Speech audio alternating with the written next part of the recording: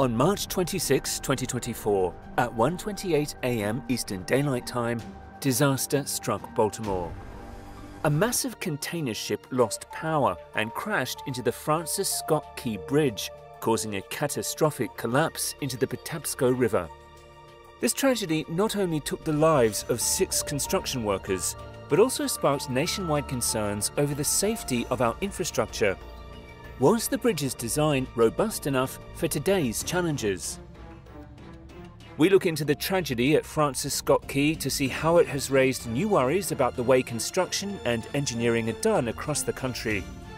We'll also talk about other well known building disasters over the years, such as the Hyatt Regency walkway collapse that killed many and the current Surfside condominium disaster. What can we learn from these building mistakes about how to stop disasters from happening again? When Francis Scott Key Bridge opened 47 years ago, a local newspaper praised it as an engineering marvel with some of the most spectacular views in Maryland. People in Baltimore were proud of their new bridge, even though it took longer than planned to build and cost a lot more than expected. Tuesday at 1:30 a.m. with a nearly full moon and clear skies, a 213 million pound cargo ship almost as long as the Eiffel Tower hit a key support column and instantly destroyed large parts of the bridge. Engineers build bridges that are strong and can handle different kinds of impacts, like those from ships. However, the Dali was not a normal ship. It was a cargo ship that weighed about one third to one half of the Empire State Building. Plus, the Key Bridge was built in 1977, a time when rules were different and ships were much smaller. The Key Bridge would have been able to last if it had been built to today's standards. Modern bridges, designed in the age of ultra-large shipping containers, are typically built with stronger piers or protection systems around the piers that can either absorb or deflect the force of ship collisions. In the aftermath, questions arise about the future of bridge safety and engineering standards. The collapse has sparked discussions on retrofitting older bridges with modern defensive systems. The Baltimore Bridge is not the only example of lessons learned that shape the future of engineering and construction practices. Throughout history, tragedies have helped shape how construction and engineering are done today in the US and other parts of the world. On July 17, 1981, a festive evening at the Hyatt Regency Hotel in Kansas City turned tragic when its walkways collapsed. Hundreds of guests were dancing when the second, third, and fourth floor walkways suddenly fell, killing 114 people and injuring over 200. This disaster became one of the deadliest structural collapses in US history. The collapse shocked the nation. Emergency teams rushed to the scene, working tirelessly to rescue survivors and recover those who were lost. The community mourned deeply as family and friends grappled with the sudden and heartbreaking loss of their loved ones. Investigators found that a design change during construction had overloaded the walkway's support rods. This critical oversight was the main reason for the collapse. As a result of this tragedy, changes in engineering and construction practices, building codes, and safety standards were made, such as stricter peer review requirements for complex structures, now, independent experts had to review and approve designs before builders could start construction. The new building codes ensured that all engineering designs could handle extra stress. The tragedy also pushed engineers to prioritize public safety over all other concerns. Engineering programs began emphasizing ethics and the real-world effects of engineering decisions. The Hyatt Regency collapse became a key case study for teaching the importance of thorough design checks and ethical practices. The legal outcomes were also significant. Families of the victims received compensation, 140 million US dollars, and stricter regulations were put in place to hold parties accountable for such failures. This increased legal responsibility prompted firms to follow safety protocols more closely. Unfortunately, no matter how much people learn from these tragedies, negligence continues to be the leading cause of such disasters. It's why, even decades after the Hyatt Regency Hotel walkway collapsed, we still continue to see construction disasters like Surfside condominium collapse in Florida. Early in the morning on June 24, 2021, part of the Champlain Towers South building in Surfside, Florida collapsed. A once bustling apartment building turned into a sad scene when this happened, crushing or trapping people under a huge pile of bent metal and concrete.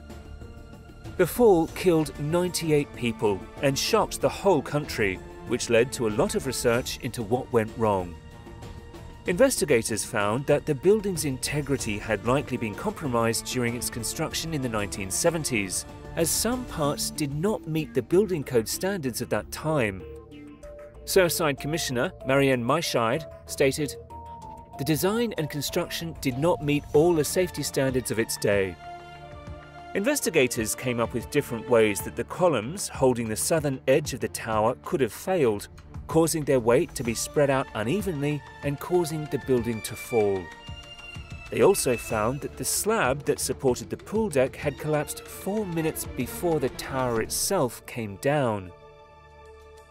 The building was in bad shape and needed major fixes even before it fell. In April 2021, the head of the condo association told residents that the concrete was quickly getting worse.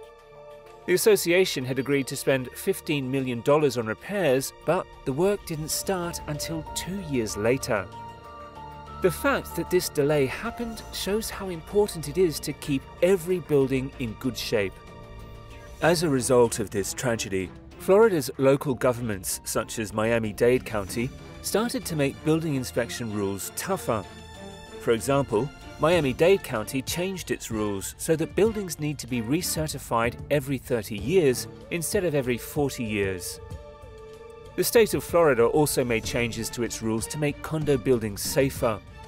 Senate Bill 4D mandates stricter inspections and requires condo associations to reserve funds for necessary repairs.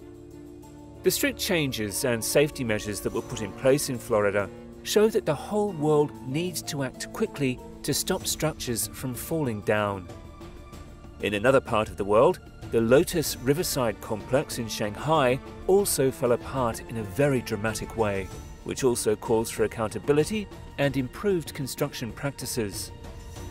China, known for its unprecedented construction speed and efficiency, leads the world in scaling up its housing and infrastructure to meet the needs of its unstopping growing population. In 2021 alone, the country constructed over 6 million residential properties. Yet this impressive growth often comes at a cost. The rush to build quickly and profitably sometimes leads to compromised quality, setting the stage for potential disasters. The Lotus Riverside tragedy occurred on June 27, 2009, when a massive 13 story building toppled to the ground, miraculously avoiding damage to nearby buildings but claiming the life of a worker named Zhao, who had entered the building to retrieve his tools. The collapse, which left the building lying on its side with doors and windows almost intact, became a shocking sight and sparked outrage among the 500 homebuyers. Many of these individuals had invested their life savings and now demanded full refunds and compensation from Shanghai Meidu Real Estate Development, the project's developer.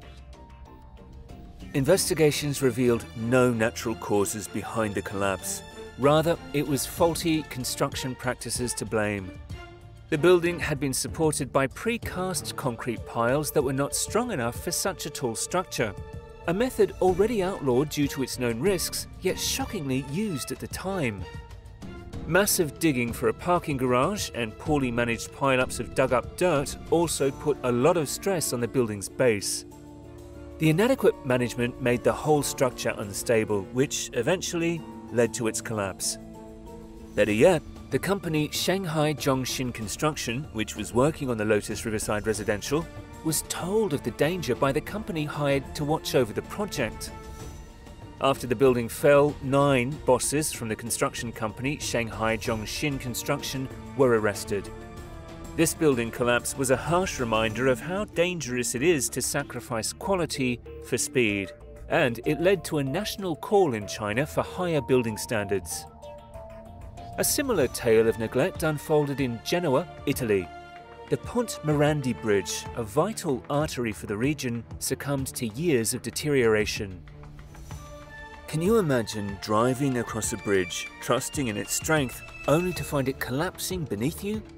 That's what happened in the tragic collapse of Italy's Ponte Morandi Bridge. On a stormy day in August 2018, the bridge suddenly collapsed under the weight of its traffic. Vehicles and their passengers plummeted to the ground below, turning a routine commute into a scene of devastation. This catastrophe claimed the lives of 43 people and injured many others.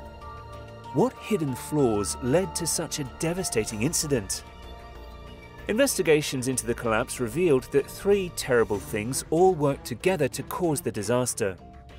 The concrete used to build the bridge was breaking down, the steel cables that held the structure together were severely corroded, and finally, the bridge wasn't getting enough maintenance. In the end, it was a stretch of bad weather that caused the catastrophic failure, which showed these weaknesses and caused the tragic fall. After the accident, the Italian government moved quickly to find out who was responsible. According to the investigations, the company that was in charge of the bridge had not done any proper upkeep for a long time. Even though there were many signs that the bridge was getting worse, the necessary repairs were always put off. Because of this, several executives from the running company were sued. Italy then rethought how it handled infrastructure safety because it knew that the whole system needed to change. The government made building rules stricter and started inspecting old infrastructure all over the country more closely. Finally, in two years, a new bridge was built with safety and stability in mind at all times. The Genova San Giorgio Bridge was built quickly and opened on August 3, 2020.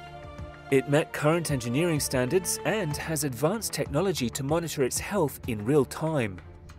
This new bridge not only shows how strong Genoa is, but it also shows how much the city has learned from its mistakes.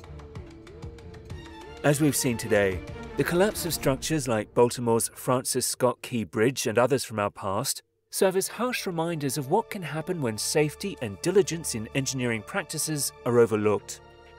These tragedies aren't just isolated incidents.